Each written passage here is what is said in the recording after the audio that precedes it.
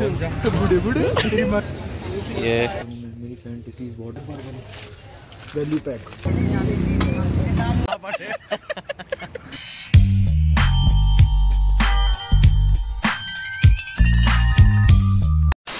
हम लोग आए थे क्या ब्लॉगिंग करना था आज के लिए? आठ दिन से लॉन्ग डला था पर फिर समझ नहीं आया क्या करें। तो आज सोचा कि कुछ खाने पीने का देखते हैं वही दिखा देंगे सबको। देखो लड़की जा रही है। पहले आए हैं। बस बोलती है ये बस स्टैंड एरिया है, यहाँ से बस स्टैंड के लिए जाती है रोड, और यहाँ पे गर्ल्स कॉलेज भी है, और इसके सामने ही यहाँ पे फ़ूड ब्लॉगिंग के फ़ूड ब्लॉगिंग वाले लोग ज़्यादा लोग आते हैं। यदि पे नया नया चेहरा इंट्रोड्यूस किया है हमने। हालाँकि रहता हमारे साथ है, कम कैमरा में आता है। एटीट्यूड हाँ। हमारे मतलब आपको मत सिखा, चल। फिर हमने डिसाइड किया कि हम आज खाएँगे अंडे और अलग अलग स्ट्रीट फ़ूड जो कि हम खाएँगे और बाकी सबको भी दिखाएँगे। देखते हैं कि आज हम लोग क्या खाने वाले हैं। और हाँ ये वाली वीडियो मतलब ऐसा है कि हम लोग बॉडी बिल्डिंग करते हैं तो हम लोग प्रोटीन कंटेंट ज़्यादा पूरे। पूरे? हाँ छः होल जिसको अंडे खाना हो यहाँ पे जिसको बिरयानी खाना हो यहाँ पे।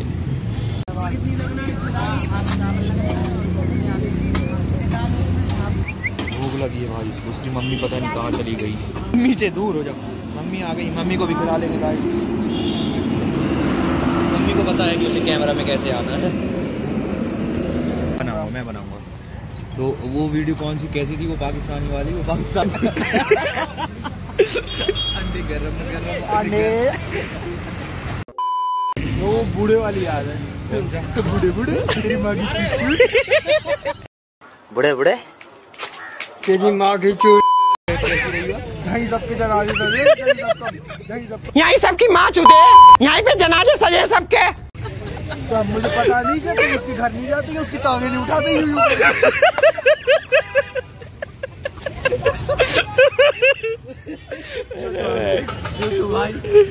ये ऐसी चीज़ें बोलता है दिन भर और हमें हंसाता है। पता नहीं क्या कैसे बोल जाता है। और ये नहीं खा रहा अंडे। पता नहीं क्यों नहीं खा रहा। और ये दूसरी प्लेट दी पेन की। अभी हम लोग वहाँ पे अंडे खा के निकल गए हैं। और ये रहा बस स्टैंड सागर का। अब हम लोग दूसरी जगह जा रहे हैं, देखते हैं कि कुछ मिलता है कि नहीं। वैसे तो मोस्टली सागर बंद हो जाता है। ठीक है। नौ बजे के आसपास साढ़े नौ बजे ठीक मतलब है। सारी दुकानें बंद ही हो जाती हैं पूरा सागर सो जाता है। नाइट लाइफ यहाँ पे उतनी समझ गया। है। चाट भंडार चाट खाने की इच्छा नहीं है बिल्कुल भी। ये कुछ दुकानें लगी हुई देखते हैं आगे कहाँ जा सकते हैं हम लोग।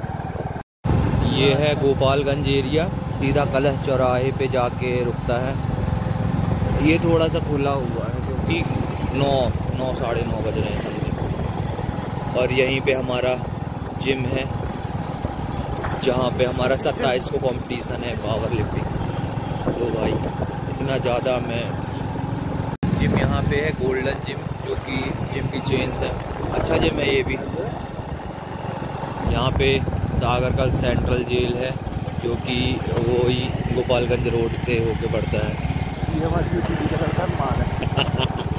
ये है वो सेंट्रल जेल ये 1843 पे बना था। मतलब अंकल को पता नहीं क्या हो गया ये जेल जाना चाहते लगता है।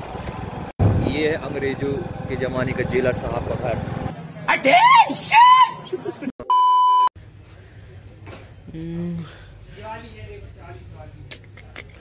क्या लूँ? ये लूँ ये भी नहीं अंजीर लेना अंजीर। ये तो मैं ये लेना हो तो ये रख लो।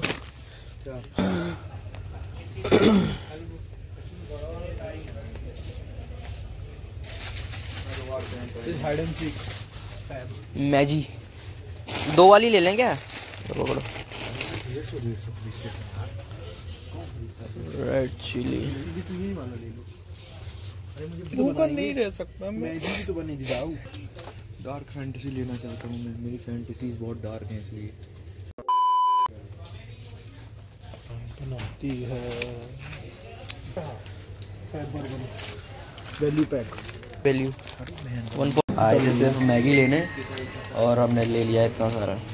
सिर्फ़ आज रात के खाने के लिए। कुछ साबुन भी है।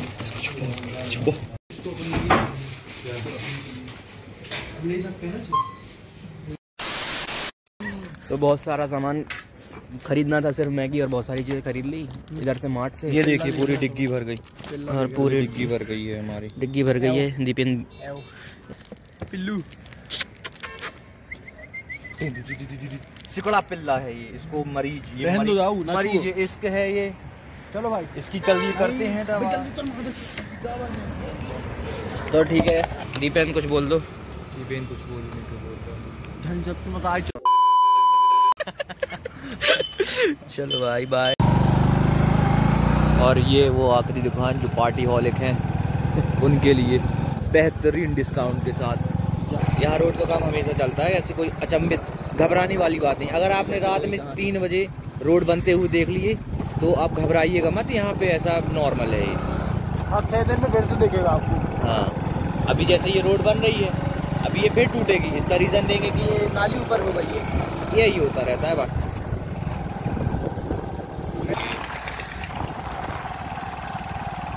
तो ख़त्म करते हैं आज का आज का व्लॉग यहीं पे। The next morning. तो कल रात में लौटे दस बजे यू मार्ट से। जैसे वो सामान लाए थे खाने का, वो खाया पिया, मज़े किए। फिर ये लोग बातें करते रहे मतलब हम तीनों ही मैं दीपेन आयुष बात करते रहे। वो अपनी कहानी बचपन की सुना रहा था कुछ उसकी स्कूल टाइम की। एक बज गए, दो बज गए, ये लोग तो सो गए, तीन बजे। शॉर्ट की काफ़ी अच्छी है, हॉरर मूवी। फिर बस वो खोली, वो देखने लग गया, डेढ़ घंटे की मूवी थी, डेढ़ या दो घंटे की। वो देखने लग गया, तीन से पाँच बज गए। हमने डिसाइड किया था कि हम छः सात बजे जिम जाएँगे। इस कारण से फिर मैं सोचा कि अब नहीं सोते हैं। तो मैं कल रात से जाग रहा हूँ, नहीं सोया। और अभी मैंने अपने लिए फ्राइड राइस बनाया है, जो मैं दिखाऊँगा आपको। रात में ही मैंने पहले से बना लिए थे और अभी सुबह फ्राई कर लिया। अब मैं उसको खाऊँगा फटाक से। और फिर उसके बाद हम जाएँगे जिम। तो आगे का ब्लॉग शायद जिम वाला हो तो देखते रहना वर्कआउट देखना। खाने से पहले मैं सोच रहा हूँ कि मैं अपने एक बार वेट देख लूँ तो वेट मेज़र कर लेते हैं, खाने के बाद सही नहीं आएगा तो पहले मेज़र कर लेते हैं।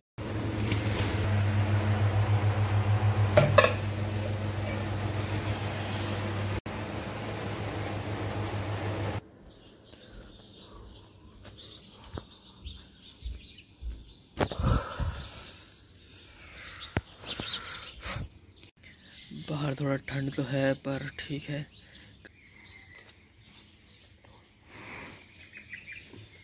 सर्दियाँ स्टार्ट हो गई हैं। पता चल रहा है, ठंड बहुत ज़्यादा। पर मुझे जल्दी जल्दी ख़त्म भी करना पड़ेगा।